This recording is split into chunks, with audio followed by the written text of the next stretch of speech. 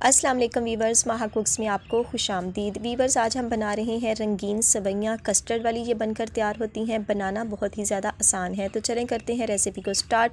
यहाँ पर हमने एक पैन ले लिया है और उसमें मैं शामिल कर रही हूँ दूध। डेढ़ किलो दूध हम इसमें शामिल करेंगे और चीनी है मेरे पास एक कप। थोड़ी सी हम बचा लेंगे और बकाया चीनी हम इसमें शामिल कर देंगे। और वीवर्स, ये है मेरे पास एक पैकेट सवैयों का। कस्टर्ड सवैयाँ भी कहा जाता है। ये हमने पूरा पैकेट इसमें शामिल कर देना है। बच्चों के लिए तो बहुत ही मज़े की ये चीज़ है, बहुत ही शौक़ से वो इसको खाते हैं।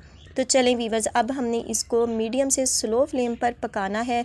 ज़्यादा आँच मत कीजिएगा और यहीं पर ये पककर तैयार होंगी और हमें यहाँ पर लगेंगे पंद्रह से बीस मिनट। हमने इसको मीडियम फ्लेम से स्लो फ्लेम पर चलाते हुए पकाना है तो मिलते हैं तीस मिनट के बाद। तो जी वीवर्स, ये देखिए तकरीबन बीस मिनट हो चुके हैं और जो दूध है वो तकरीबन आधा खुश्क हो चुका है। आप इसकी लुक देखें ज़रा, ये बिल्कुल बनकर हो चुकी हैं, तैयार तो करते हैं इसे डिश आउट। तो जी वीवर्स, जो हमारी रंगीन सवैयाँ या कस्टर्ड वाली सवैयाँ जो हमारे घरों में बहुत ज़्यादा शौक़ से खाई जाती हैं, बच्चे बहुत ज़्यादा इसको इंजॉय करके खाते हैं तो वो हमारी बनकर हो चुकी हैं, तैयार, बहुत ही लजीज़ और बहुत ही मज़ेदार। बहुत ही आसान और क्विक बनने वाला मीठा है। जब भी कोई आपके घर मेहमान है तो आप फ़ौरन से उसको बनाकर दे सकते हैं।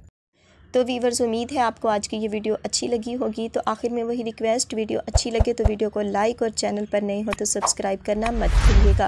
और बेल आइकन को ज़रूर प्रेस कीजिएगा ताकि आने वाली हर नई वीडियो का नोटिफिकेशन आपको बर वक्त मिल सके। तो इन मिलेंगे अपनी आने वाली किसी नेक्स्ट वीडियो के साथ। तब तक दुआओं में याद रखिएगा। अल्लाह पाक आपके हाथों और खानों में बरकतें अता फ़रमाए। अल्लाह हाफिज़।